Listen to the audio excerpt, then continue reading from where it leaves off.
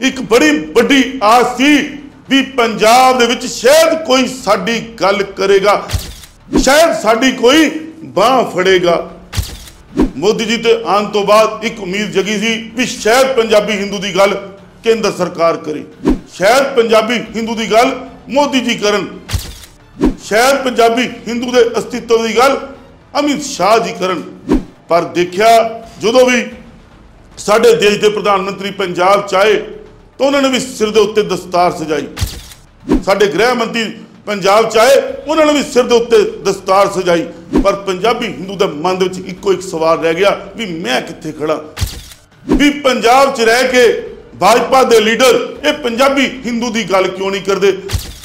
ਜਦੋਂ ਵੀ ਇਤਿਹਾਸ ਲਿਖਿਆ ਜਾਂਦਾ, ਜਦੋਂ ਵੀ ਅਖਬਾਰਾਂ ਦੀ ਸੁਰਖੀਆਂ ਲਿਖੀਆਂ ਜਾਂਦੀਆਂ, ਤਾਂ ਪੰਜਾਬ 'ਚ ਕੋਈ ਅੰਦੋਲਨ ਚੱਲਦਾ। ਤਾਂ ਉਹਨੂੰ ਸਿੱਖ ਸਮਾਜ ਦੇ ਨਾਲ ਜੋੜਿਆ ਜਾਂਦਾ ਪੰਜਾਬੀ ਹਿੰਦੂ ਨੂੰ ਕਿਉਂ ਇਗਨੋਰ ਕੀਤਾ ਜਾਂਦਾ ਕਿਆ ਪੰਜਾਬੀ ਹਿੰਦੂ ਦਾ ਅਸਤਿਤਵ ਮਿਟਾਉਣ ਦੀ ਕੋਸ਼ਿਸ਼ ਸਨ? 1900 ਤੋਂ ਹੀ ਸ਼ੁਰੂ ਕਰ ਦਿੱਤੀ ਗਈ ਸੀ। ਮੈਂ 1980 ਤੋਂ ਨਹੀਂ ਕਹਾਂਗਾ 1966 ਤੋਂ ਹੀ ਸਾਡੇ ਪੰਜਾਬੀ ਹਿੰਦੂ ਦਾ ਅਸਤਿਤਵ ਮਿਟਾਉਣ ਦੀ ਤਿਆਰੀ 1966 ਦੇ ਵਿੱਚ ਹੀ ਲਿਖੀ। ਕਾਂਗਰਸ ਦੀ ਗੱਲ ਕਰੀਏ ਜਾਂ ਪੰਜਾਬ ਭਾਜਪਾ ਦੀ ਗੱਲ ਕਰੀਏ? ਪਰ ਬੰਦੇ ਕਹਿੰਦੇ ਗੱਲ ਤਾਂ ਇੱਕੋ ਹੀ ਹੈ। ਵੀ ਕਾਂਗਰਸ ਦੀ ਗੱਲ ਕਰਨੀ ਹੈ ਬੀਜੇਪੀ ਦੀ ਕਰ ਲਓ। ਕਿਉਂ? ਭਾਜਪਾ ਦਾ ਪ੍ਰਧਾਨ ਵੀ ਅੱਜ ਦੀ ਤਰੀਕ 'ਚ ਕਾਂਗ, ਪੁਰਾਣਾ ਕਾਂਗਰਸੀ ਪਰਿਵਾਰ ਚੋਂ ਸੁਨੀਲ ਜਾਖੜ। ਅਗਰ ਭਾਜਪਾ ਦੀ ਮਹਿਲਾ ਪ੍ਰਧਾਨ ਦੀ ਗੱਲ ਕਰੀਏ, ਤਾਂ ਮਹਾਰਾਜਾ ਦੀ ਬੇਟੀ ਅੱਜ ਪੰਜਾਬ ਭਾਜਪਾ ਦੀ ਮਹਿਲਾ ਪ੍ਰਧਾਨ ਹੈ, ਕਾਂਗਰਸੀ ਪਰਿਵਾਰ ਚੋਂ ਹੈ। ਇੱਕ ਐਸਸੀ ਮੋਰਚੇ ਦੀ ਵੀ ਗੱਲ ਕਰ ਲਈਏ, ਤਾਂ ਉਹ ਵੀ ਕਾਂਗਰਸੀ ਪੁਰਾਣਾ ਪਰਿਵਾਰ ਹੈ, ਉਹਨੂੰ ਪੰਜਾਬ ਦਾ ਪ੍ਰਧਾਨ ਲਾਇਆ ਹੋਇਆ। ਗੱਲ ਕਿਹਦੀ ਕਰੀਏ? ਲੋਕ ਬੜੇ ਇੱਕ ਅਸੰਯਮ 'ਚ ਬੈਠੇ ਨੇ ਵੀ ਅਸੀਂ ਕਾਂਗਰਸ ਦੀ ਗੱਲ ਕਰੀਏ ਕਿ ਬੀਜੇਪੀ ਦੀ ਗੱਲ ਕਰੀਏ, ਵੀ ਭਾਜਪਾ ਹੈ ਤਾਂ ਹੈ ਕੀ? ਕਿਆ ਕਾਂਗਰਸ ਭਾਜਪਾ ਬਣ ਗਈ ਹੈ? ਸਵਾਲ ਲੋਕਾਂ ਦੇ ਮਨ ਦੇ ਵਿੱਚ ਹੈ, ਮੇਰੇ ਮਨ 'ਚ ਵੀ ਹੈ। ਮੇਰੇ ਕਿਉਂ ਲੋਕਾਂ ਦੇ ਹੋਰ ਪੰਜਾਬ ਦੇ, ਹਿੰਦੂ ਦੇ ਮਨ 'ਚ ਵੀ ਹੈ ਵੀ ਪੰਜਾਬ ਦੇ ਵਿੱਚ ਜਿਹੜੀ ਭਾਜਪਾ ਦਾ ਕਾਂਗਰਸੀਕਰਨ ਹੋ ਚੁੱਕਾ ਅਰੁਣ ਨਾਰੰਗ ਵਰਗਾ ਪੁਰਾਣਾ ਭਾਜਪਾਈ, ਭਾਜਪਾ ਦਾ ਕਾਰਿਆਕਰਤਾ ਕਹਿ ਲੋ ਵਰਕਰ ਕਹਿ ਲੋ ਭਾਜਪਾ ਦਾ ਪੂਰਵ ਐਮਐਲਏ ਕਹਿ ਲੋ ਜਿਨੇ ਆਪਣੇ ਕੱਪੜੇ ਫੜਾਏ, ਪਟਵਾਏ ਹੋਣ ਕਾਂ ਕਿਸਾਨ ਅੰਦੋਲਨ ਵੱਲੋਂ ਉਸ ਵਰਗਾ ਵਿਅਕਤੀ, ਕੱਟਰ, ਭਾਜਪਾ ਵਰਕਰ, ਅਰੁਣ ਨਾਰੰਗ ਵਰਗਾ ਬੰਦਾ ਭਾਜਪਾ ਛੱਡ ਕੇ ਆਮ ਆਦਮੀ ਪਾਰਟੀ ਜੁਆਇਨ ਕਰ ਰਿਹਾ ਹੋਵੇ, ਤਾਂ ਤੁਸੀਂ ਭਾਜਪਾ ਦੀ ਸਥਿਤੀ ਕੀ ਸਮਝੋਗੇ? ਇੱਕ ਬੜਾ ਵੱਡਾ ਸਵਾਲ ਹੈ ਵੀ ਕਾਂਗਰਸ ਦੀ ਗੱਲ ਕਰੀਏ ਜਾਂ ਭਾਜਪਾ ਦੀ? ਗੱਲ ਇੱਕੋ ਗੱਲ ਹੋ ਗਈ ਅੱਜ ਦੀ ਤਰੀਕ ਦੇ ਵਿੱਚ। ਬੜਾ ਦੁੱਖ ਹੁੰਦਾ ਜਦੋਂ ਪੰਜਾਬ 'ਚ ਅੱਤਵਾਦ ਸੀਗਾ, ਉਦੋਂ ਵੀ ਗੱਲ ਕੀਤੀ ਜਾ ਰਹੀ ਸੀਗੀ। ਜੋ ਕਸ਼ਮੀਰ 'ਚ, ਕਸ਼ਮੀਰ ਦੇ ਹਿੰਦੂਆਂ ਨਾਲ ਹੋਇਆ, ਉਹਨਾਂ ਨੂੰ ਉੱਥੋਂ ਭਜਾਇਆ ਗਿਆ ਵੀ ਤਾਂ ਕਿ ਕਸ਼ਮੀਰ ਨੂੰ ਹਿੰਦੂ ਬਹੀਨ ਕਰ ਦਿੱਤਾ ਜਾਵੇ।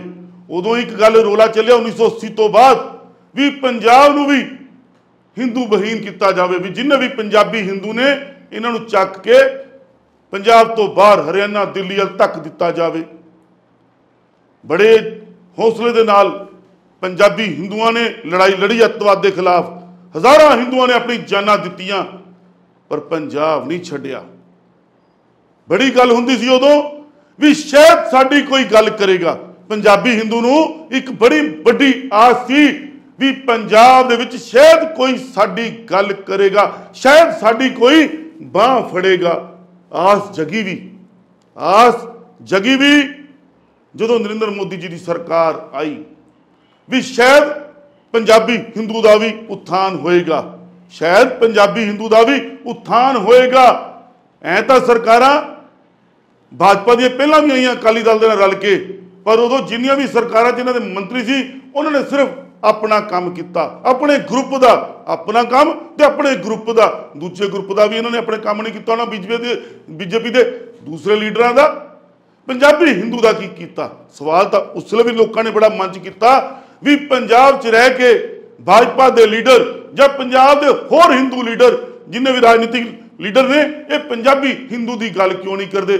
ਜਦੋਂ ਵੀ ਇਤਿਹਾਸ ਲਿਖਿਆ ਜਾਂਦਾ ਜਦੋਂ ਵੀ ਅਖਬਾਰਾਂ ਦੀ ਸੁਰਖੀਆਂ ਲਿਖੀਆਂ ਜਾਂਦੀਆਂ, ਤਾਂ ਪੰਜਾਬ 'ਚ ਕੋਈ ਅੰਦੋਲਨ ਚੱਲਦਾ ਤਾਂ ਉਹਨੂੰ ਸਿੱਖ ਸਮਾਜ ਦੇ ਨਾਲ ਜੋੜਿਆ ਜਾਂਦਾ ਪੰਜਾਬੀ ਹਿੰਦੂ ਨੂੰ ਕਿਉਂ ਇਗਨੋਰ ਕੀਤਾ ਜਾਂਦਾ ਕਿਆ ਪੰਜਾਬੀ ਹਿੰਦੂ ਦਾ ਅਸਤਿਤਵ ਮਿਟਾਉਣ ਦੀ ਕੋਸ਼ਿਸ਼ ਸਨ 1900 ਤੋਂ ਹੀ ਸ਼ੁਰੂ ਕਰ ਦਿੱਤੀ ਗਈ ਸੀ? ਮੈਂ 1980 ਤੋਂ ਨਹੀਂ ਕਹਾਂਗਾ 1966 ਤੋਂ ਹੀ ਸਾਡੇ ਪੰਜਾਬੀ ਹਿੰਦੂ ਦਾ ਅਸਤਿਤਵ ਮਿਟਾਉਣ ਦੀ ਤਿਆਰੀ 1966 ਦੇ ਵਿੱਚ ਹੀ ਲਿਖ ਦਿੱਤੀ ਗਈ ਸੀ ਵੀ ਪੰਜਾਬ 'ਚ ਕੋਈ ਗੱਲ ਨਾ ਕਰੇ। ਜਦੋਂ ਵੀ ਪੰਜਾਬ ਦੇ ਵਿੱਚ ਗੱਲ ਹੋਵੇ ਤਾਂ ਸਿੱਖ ਸਿਆਸਤ ਦੀ ਗੱਲ ਹੋਵੇ, ਹਿੰਦੂ ਸਿਆਸਤ ਦੀ ਗੱਲ ਨਾ ਕੀਤੀ ਜਾਵੇ। ਜਦ ਕਿ ਪੰਜਾਬ ਦੇ ਵਿੱਚ 60 ਤੋਂ 65 ਸੀਟਾਂ ਐਸੀਆਂ ਨੇ ਜਿਹੜੀਆਂ ਹਿੰਦੂ ਬਹੁਲ ਆਬਾਦੀ ਵਾਲੀਆਂ ਨੇ, ਪਰ ਸਾਡੇ ਵਿਧਾਇਕ ਕਿੰਨੇ ਖੜੇ ਕੀਤੇ ਜਾਂਦੇ ਨੇ ਸੀਟਾਂ ਉੱਤੇ ਹਿੰਦੂ ਸਮਾਜ ਦੇ? 20 ਤੋਂ 22 ਜਿੱਤ ਕੇ ਕਿੰਨੇ ਆਂਦੇ? 5 ਤੋਂ 7 ਵਿਧਾਨ ਸਭਾ 'ਚ ਉਹ ਵੀ ਚੁੱਪ ਹੋ ਕੇ ਬੈਠੇ ਰਹਿੰਦੇ ਨੇ। ਕਿਉਂਕਿ ਸਾਡਾ ਉੱਥੇ ਬਹੁਮਤ ਨਹੀਂ ਹੁੰਦਾ। ਸਾਡੇ ਉੱਤੇ ਗੱਲ ਕਰਨ ਲਈ ਕੋਈ ਵਜਨ ਨਹੀਂ ਹੁੰਦਾ। ਸਵਾਲ ਅੱਜ ਵੀ ਹੈ। ਮੋਦੀ ਜੀ ਤੇ ਆਉਣ ਤੋਂ ਬਾਅਦ ਇੱਕ ਉਮੀਦ ਜਗੀ ਸੀ ਵੀ ਸ਼ਾਇਦ ਪੰਜਾਬੀ ਹਿੰਦੂ ਦੀ ਗੱਲ ਕੇਂਦਰ ਸਰਕਾਰ ਕਰੇ। ਸ਼ਾਇਦ ਪੰਜਾਬੀ ਹਿੰਦੂ ਦੀ ਗੱਲ ਮੋਦੀ ਜੀ ਕਰਨ। ਸ਼ਾਇਦ ਪੰਜਾਬੀ ਹਿੰਦੂ ਦੇ ਅਸਤਿਤਵ ਦੀ ਗੱਲ ਅਮਿਤ ਸ਼ਾਹ ਜੀ ਕਰਨ। ਪਰ ਦੇਖਿਆ ਜਦੋਂ ਵੀ ਸਾਡੇ ਦੇਸ਼ ਦੇ ਪ੍ਰਧਾਨ ਮੰਤਰੀ ਪੰਜਾਬ ਚ ਆਏ ਤਾਂ ਉਹਨਾਂ ਨੇ ਵੀ ਸਿਰ ਦੇ ਉੱਤੇ ਦਸਤਾਰ ਸਜਾਈ। ਸਾਡੇ ਗ੍ਰਹਿ ਮੰਤਰੀ ਪੰਜਾਬ ਚ ਆਏ ਉਹਨਾਂ ਨੇ ਵੀ ਸਿਰ ਦੇ ਉੱਤੇ ਦਸਤਾਰ ਸਜਾਈ। ਪਰ ਪੰਜਾਬੀ ਹਿੰਦੂ ਦੇ ਮਨ ਦੇ ਵਿੱਚ ਇੱਕੋ ਇੱਕ ਸਵਾਲ ਰਹਿ ਗਿਆ ਵੀ ਮੈਂ ਕਿੱਥੇ ਖੜਾ ਮੈਂ ਪੰਜਾਬ ਦਾ ਨਾਗਰਿਕ ਨਹੀਂ ਹੈ। ਕਿਆ ਮੇਰੀ ਪੰਜਾਬ ਦੀ ਰਾਜਨੀਤੀ ਵਿੱਚ ਸਾਡਾ ਹਿੱਸੇਦਾਰੀ ਨਹੀਂ ਹੈ? ਇੱਕ ਸਵਾਲ ਲੈ ਕੇ ਅੱਜ ਵੀ ਲੋਕ ਬੈਠੇ ਨੇ, ਲੋਕ ਦੇਖ ਰਹੇ ਨੇ ਭਾਜਪਾ ਵੱਲ। ਵੀ ਕਿਆ ਭਾਜਪਾ ਪੰਜਾਬ ਦੇ ਹਿੰਦੂ ਦੀ ਗੱਲ ਕਰੇਗੀ? ਕਿਆ ਪੰਜਾਬੀ ਹਿੰਦੂ ਨੂੰ ਉਹਦਾ ਮਾਨ ਸਨਮਾਨ ਦਿਲਾਏਗੀ?